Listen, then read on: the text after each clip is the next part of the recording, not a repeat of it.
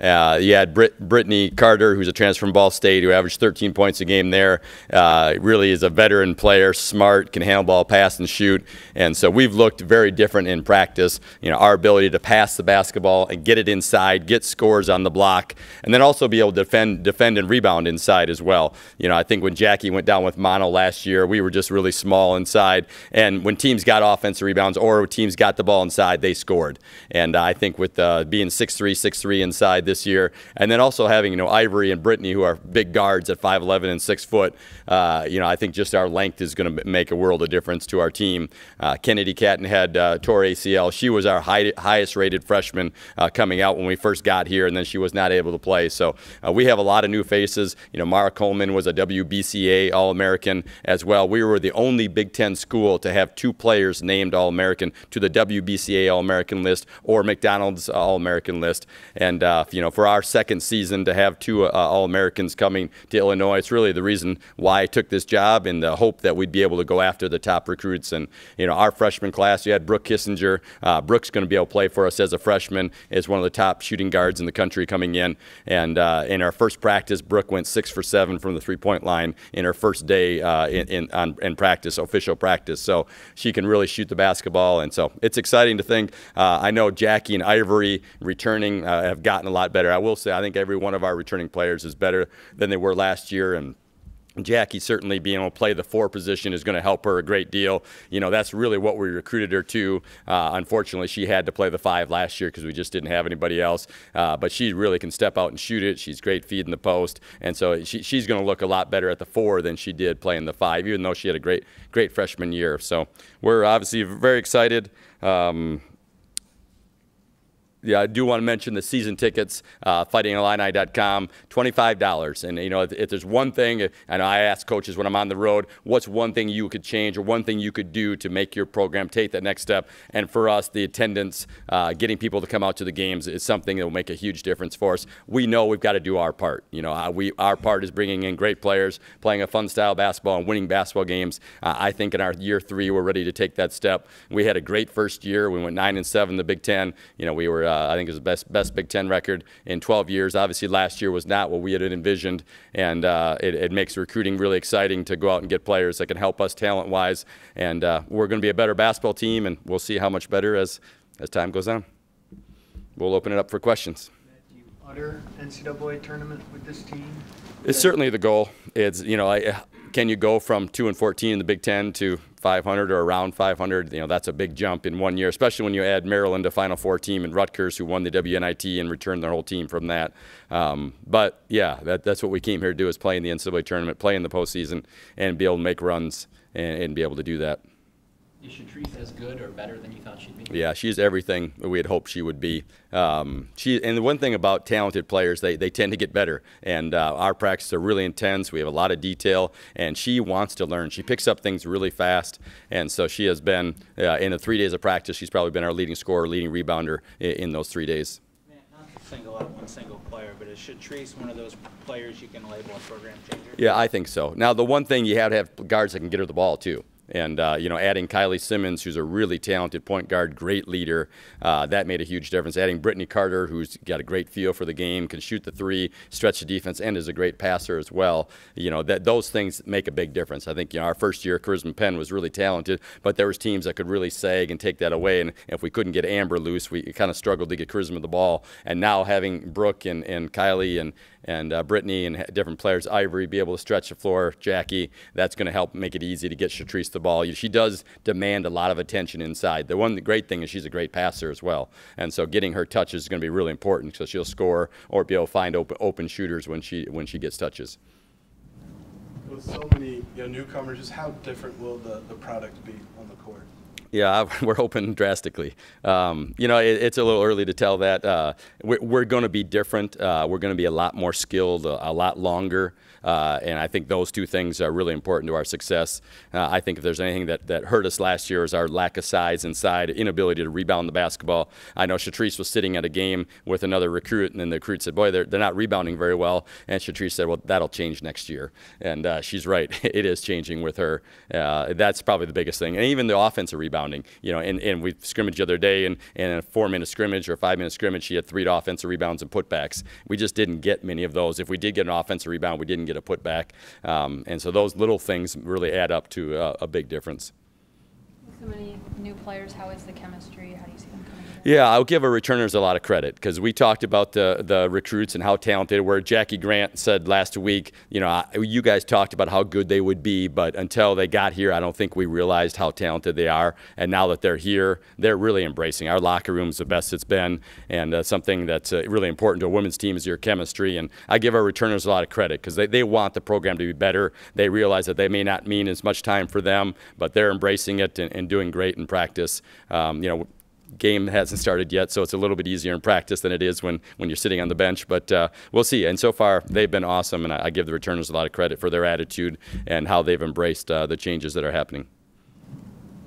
You have a player that's kind of flying under the radar right now that may not allow talk, but Yeah, I think Brooke, Brooke Kissinger might be, you know, Amarah Coleman is a WBCA, Chatrice McDonald's, and, and not a lot of people knew about Brooke. We did. We've been recruiting Brooke since she was in eighth grade.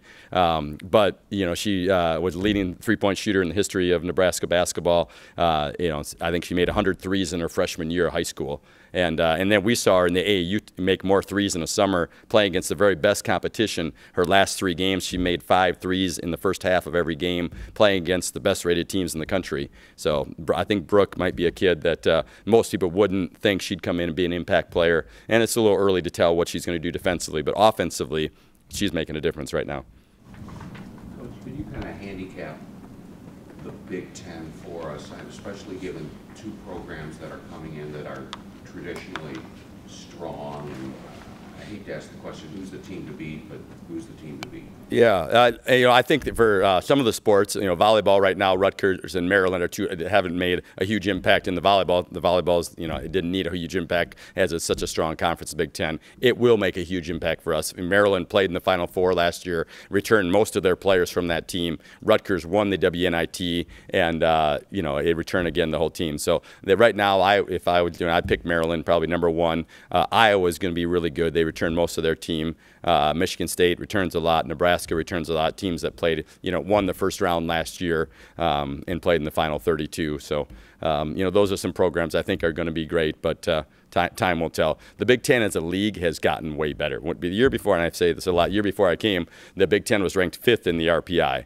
Last two years, we've been number one or number two. Now you add two really good teams to that.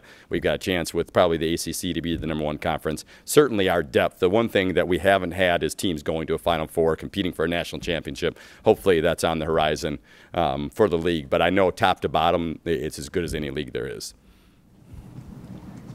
Therese and Jackie will be able to play together easily? Yes, yeah, they will. And uh, you know, we're, we're obviously looking at things defensively, how we're guarding, and, and those things. So far, you know, it's, we've been really happy with Chatrice's feet, how she can run. We knew she could run the floor, but can she move east and west in order to switch screens? And you know, what are we going to do? You know, with our switching screens and those things. But yeah, so far they've played together every day in practice and been really good together. Again, it's Jackie's more of a four than a five. Um, Offensively, it'd be really easy. The question is defensively, you know, how are we going to guard? How it look in the buzz? How it look when we go 2 2 1? Uh, and those things. And, and those are some things we got to work through. But uh, certainly our plan is to play them together. And right now, if we're starting today, they're starting together and, and playing a lot of minutes together. How do you have to adjust what you're doing that first year when you brought in the buzz? It kind of caught some teams off guard. They were able to adjust to it last year. What kind of changes are you making here? Yeah, you know, it's more about your personnel than it is about like the changes that we make because other teams are doing this or that. You know, the the first year having Adrian and Karisma, it really changed. The buzz looked. We set the Big Ten record for the most forced turnovers and most steals.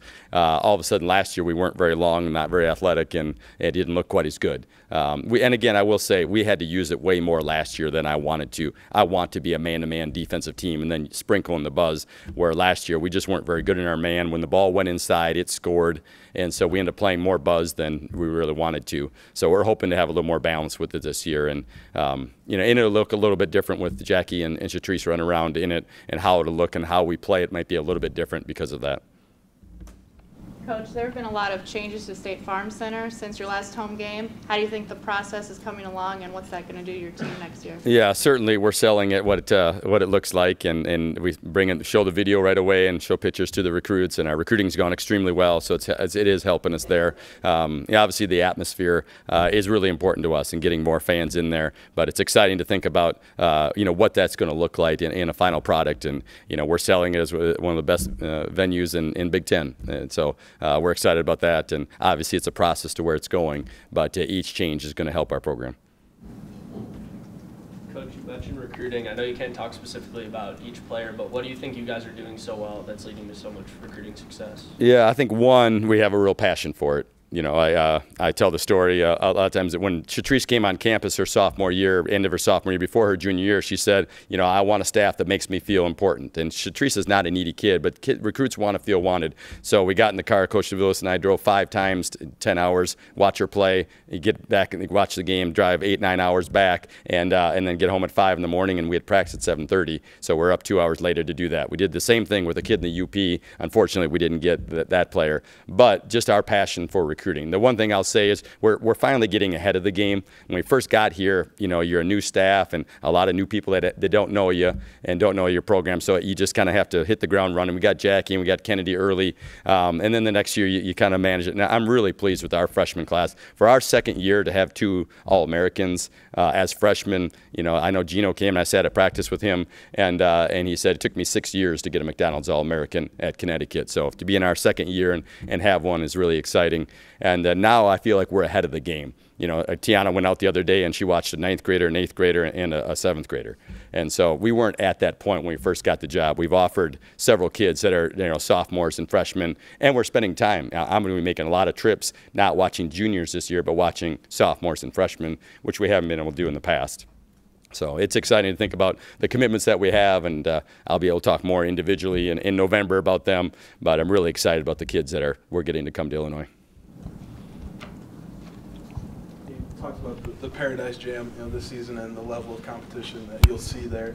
How important is that, you know, trip for a team you feel pretty positive about to maybe, you know, see what you know, how they stack up? Yeah, we're playing three teams that will play in the NCAA tournament this year. Probably three teams that have a chance to, to win a game or two, or maybe advance. So, uh, with Kentucky, Oklahoma, and South Florida, um, it, it's the best tournament in women's basketball, and we probably have the toughest draw of anybody uh, in the tournament. So, we'll learn a lot uh, about our team and where we're at. If we can do well in that tournament, then we're probably going to have an, uh, an, amazing year. And it's going to be a little early to tell because we're going to be so young going into those games. But uh, it'd be kind of exciting to see kind of a measuring stick for us at that time.